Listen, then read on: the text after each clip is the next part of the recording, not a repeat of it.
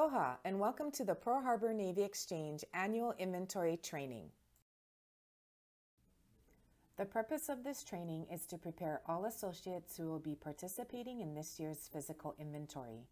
We will be reviewing how areas are scanned and counted as well as the best practices to achieve the most accurate counts. We will also train you on, on how to navigate through the Zebra handheld scanning device. Your goal as a scanner is to continuously scan with little to no interruptions. Accuracy is key. This is not a race. Last year, our main store accounted for 919,733 units of merchandise, equating to over $22.1 million. Upon completion of this video, you must pass a quiz as well as attend a hands-on training with our RAMS department.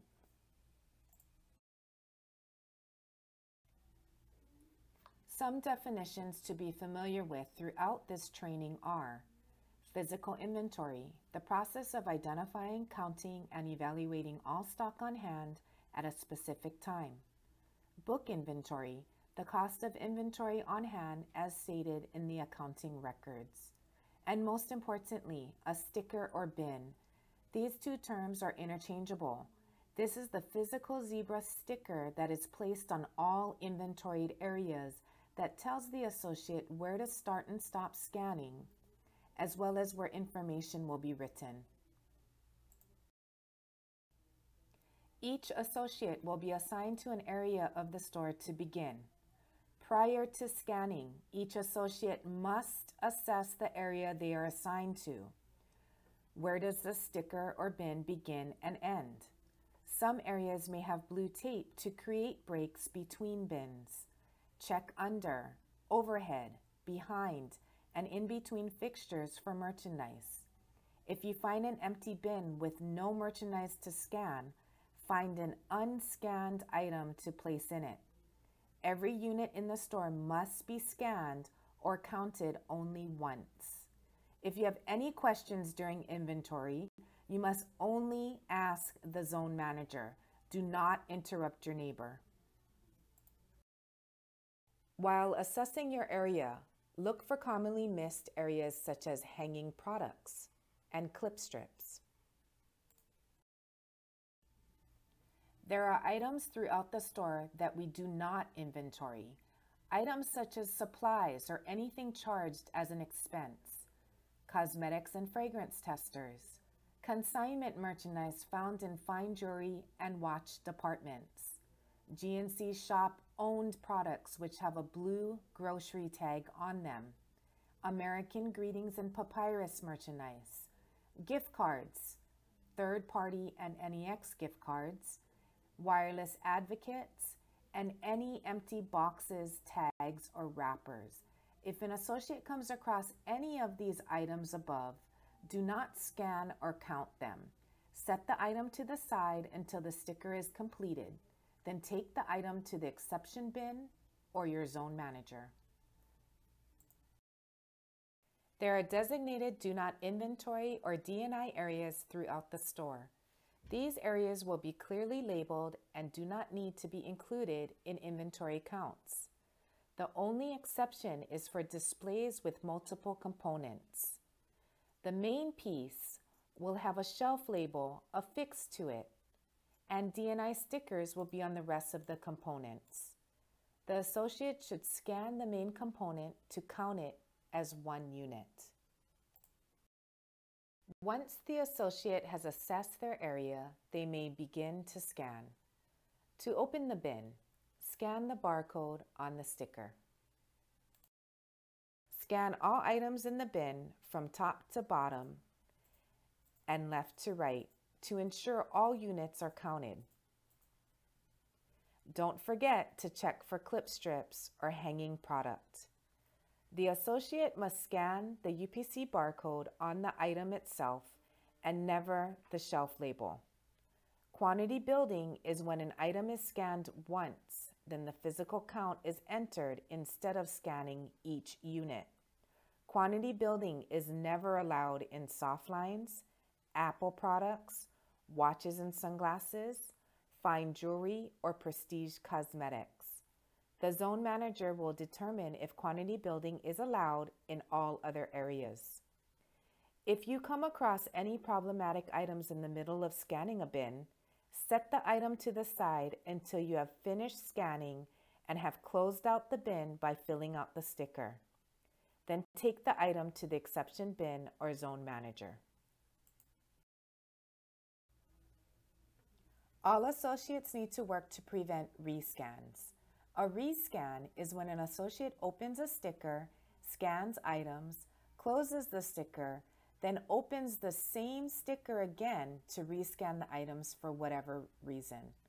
Some reasons why an associate would rescan a sticker bin might be they are afraid to ask questions or make a mistake, possibly second guessing if all items were scanned, or they may have missed an item. Rescanning bins raises red flags. Some ways to prevent rescans are to make sure you're assessing each bin prior to opening the sticker.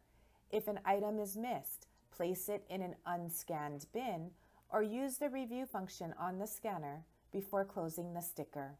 If you make a mistake, raise your hand and ask for help. Once the associate is done scanning all of the items in a bin, they will close the sticker. To close the bin, scan the barcode on the same sticker that was opened. The scanner will prompt the associate on how to fill out the sticker. See the screen on the handheld device for information. In box 1, write the last four digits of your payroll number. In box 2, write the total amount of units scanned within the bin. Place a red flag over the barcode as a visual cue that the bin has been completed. Recounts occur to ensure accuracy in capturing every unit. There are three types of recounts. The first are mandatory recounts conducted by department leadership for diamonds, bridal, fine jewelry greater than $100, all TV and Apple products, and PC hardware. The second type are manager or LP requested recounts, which can be in any department and conducted by control desk. The third type is a random recount, which will be prompted by the handheld scanner. This type of recount will be completed by the associate. This is the random recount screen that may appear as you try to close your sticker. If prompted, the associate must physically count the total units within the bin and enter it into the scanner. If the total unit count is incorrect, you will have one more chance to enter it. If it is entered incorrectly twice, the sticker will be canceled and you must repeat the process of scanning the entire bin again. If the total unit count is correct, the bin is closed successfully. The handheld will prompt how to fill out the sticker for a random recount. In box 1, write the last four digits of your payroll number. In box 2, write the total amount of units you scanned. In box 3, write the letter Y for yes, this bin was recounted. In box 4, write the first name of the person who recounted the bin. Place a red flag over the barcode to show that bin has been completed, and then place a colored flag over the red flag to show the bin has also been recounted. Pre-list sheets are mainly used in backroom areas and usually on pallets. To scan a pre-list sheet, simply open the sticker, then scan each shelf label and enter the quantity for each item listed. Remember to check if there are multiple pages. Quantity stickers are used on cases of a single item. The box must be completely sealed and untampered with. Scan the shelf label on the box, then enter quantity. If any box or pallet looks open or tampered with in any way, the associate must open it and scan each item. There must be limited distractions. There must be minimal to no talking, no iPods, earbuds, or headphones. Cell phones must be on silent mode and not create distractions while scanning. Zone assignments will be posted across the first floor restrooms near the employee entrance exit. Breaks will be assigned by zone managers. Associates are not to leave their assigned zones unless the zone manager is informed. Dress for comfort as you may be kneeling, bending, climbing ladders, or stools. T shirts, denim, knee length shorts that are in compliance with HR guidelines are allowed after close of business hours. Name tags should be worn at all times. Be sure to bring eyeglasses if needed. Only water is allowed in sealed containers in inventory zone areas. Food court will close early on Sunday, January 31st. Come prepared due to no potluck style gatherings allowed. This is the Zebra handheld scanner device that all associates will be using to conduct inventory. All associates will become familiar with the functions of the handheld scanner during hands-on training with our RAMS department. This concludes the video portion of this year's inventory training. Click the link here to access the inventory training quiz. All associates are required to pass the quiz before attending a hands-on training class. Ensure you are signed up for hands-on training. See your manager or supervisor for your scheduled class time.